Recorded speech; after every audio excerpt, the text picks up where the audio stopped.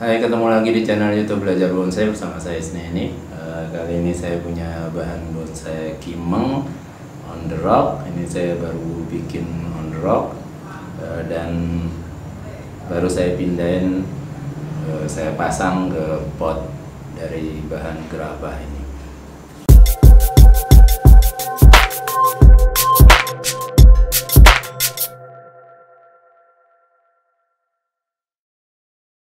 Yang mau saya bahas malam ini adalah tentang potnya. Jadi uh, ini potnya saya pakai yang bahan dari gerabah karena di Jogja ada satu sentra desa namanya Kasongan itu memang uh, pusat ya pusat uh, kerajinan gerabah. Ada keramik juga tapi saya belum ketemu yang pot uh, untuk bonsai. Sementara saya ketemu untuk yang berbahan gerabah seperti ini. Nah, uh, udah mungkin empat tahunan mungkin dari awal saya main bonsai empat tahunan terakhir lima tahun ini. Saya banyak pakai pot gerabah untuk uh, bahan bonsai saya uh, terutama untuk yang mulai menyesuaikan ke pot ceper ya. Uh, untuk bahan gerabah ini kenapa saya pilih? Uh, karena pertama relatif uh, mudah didapat kalau di Jogja karena ada sentranya kita bisa ke sana langsung tinggal milih uh, dan ada beberapa pilihan ukuran misalnya di sini ada yang bentuknya oval seperti ini sama seperti yang saya pakai untuk kimeng ini ya. Uh, seperti ini. Kemudian ukuran besar juga ada tapi tadi nggak nggak saya bawa. Dan untuk yang ukuran small misalnya ada juga yang seperti ini. Tapi rata-rata bentuknya uh, oval bulat. Uh, sebenarnya ada yang persegi juga tapi uh, saya uh, pengen pakai yang bulat dan oval aja. Nah uh, alasan lain kenapa saya pilih uh, gerabah ini saya pikir juga kuat dan tahan lama. Bahkan menurut saya dengan harga yang sama dengan misalnya pot plastik yang agak ceper misalnya itu uh, menurut saya itu lebih awet pakai gerabah seperti ini. Dan yang paling penting eh, harganya murah ya. Harganya murah. Nah misalnya contohnya untuk yang ini eh, ukurannya mungkin ini 30 atau 40 ini saya nggak ngukur tapi ukuran segini ini harganya 13.000 ya. Harganya 13.000 kemudian yang kecil seperti ini ya. Ini hanya 8.000 rupiah harganya kemudian nah ini ada contoh waru juga baru saya pindahkan. Awalnya dari pot besar e, baru saya pindahkan tadi pagi. E, nah yang ukuran segini pas harganya itu 10.000 ya. E, ukurannya ini sekitar 20-25 cm tadi enggak saya ukur dulu tapi yang kecil-kecil seperti ini 8.000 rupiah Uh, dulu kalau saya beli banyak biasanya yang harga 10.000 aja itu kasih 100.000 misalnya dikasih satu lusin 12 biji itu biasanya mau juga. Cuman uh, terakhir saya beli cuman beberapa uh, pot jadi uh, saya nggak nawar lagi. Tadi saya ngomong harganya murah pilihan ukuran juga ada relatif uh, gampang didapat kalau di Jogja. Menurut saya satu kelemahannya kalau sering basah atau terutama musim hujan e, mudah tumbuh lumut. Jadi lumut hijau nempel e, sebenarnya tipis tapi kelihatan kotor potnya. Nah yang saya belum nyoba e, mungkin prinsipnya bisa sama seperti yang semen juga. Kalau dicat mungkin mungkin lumutnya nggak nggak nempel menurut saya. Tapi saya belum nyoba cat kapan-kapan mungkin perlu saya coba juga.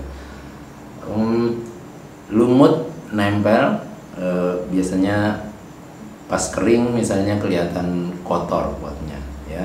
Mungkin kelemahannya hanya di situ tapi untuk lumutnya sendiri kalau teman-teman nonton video-video saya yang lama yang saya sering pakai pot gerabah selalu bersih seperti ini itu karena disikat aja pakai sikat pakaian itu sikat kamar mandi misalnya itu langsung bersih kayak baru lagi.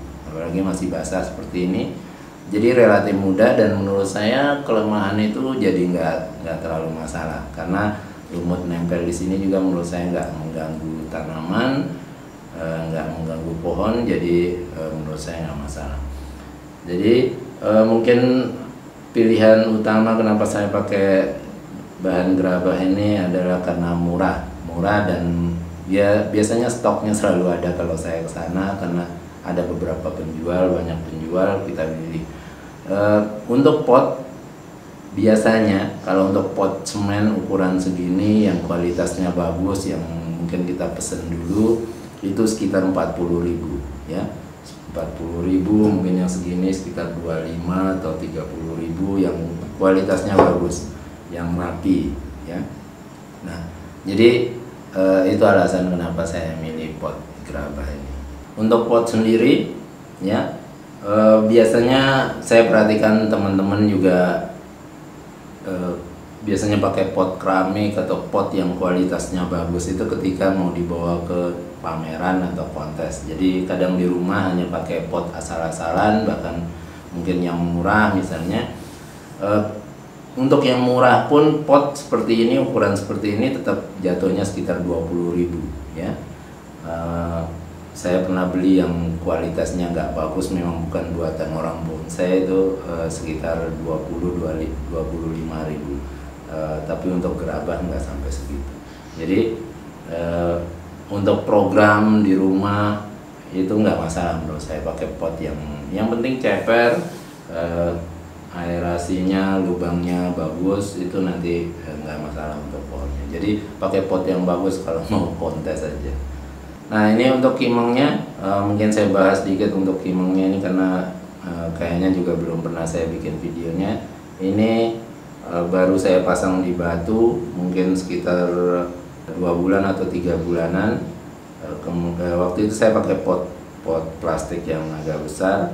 Kemudian ini baru baru tadi saya pindahkan ke pot ceper karena menurut saya nggak masalah.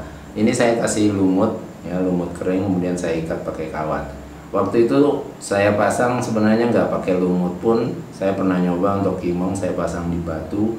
Nggak perlu dikasih lumut asal akarnya nyampe ke media itu nggak masalah. Ada temen bungkus pakai plastik misalnya kemudian dikasih media sedikit di dalam plastiknya juga bisa. Bahkan kemarin saya coba tanpa media pun yang penting akarnya nyampe bawah e, untuk kimeng misalnya seperti ini nggak masalah ya. Kebetulan ini e, saya pikir biar dia agak lembab karena saya pe, e, pengen akarnya agak banyak juga jadi e, saya tutup mos e, kemudian saya ikat ini pakai kawat. Saya ikat pakai kawat harapannya nanti akarnya lebih banyak. Karena mos ini juga banyak nyimpen air dan relatif e, lembab. Oke, okay, eh, mungkin sampai di sini dulu pembahasan tentang pot gerabah ini. Jadi kalau teman-teman lihat pot saya seperti ini ya ini bahannya dari gerabah,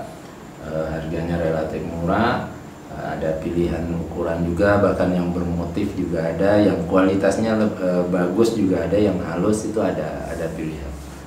Uh, mungkin kapan-kapan kalau saya ke Kasongan lagi mungkin saya buat liputan di tempat penjualnya uh, seperti apa uh, pot yang ada di sana. Oke, semoga bermanfaat dan sampai ketemu di video selanjutnya.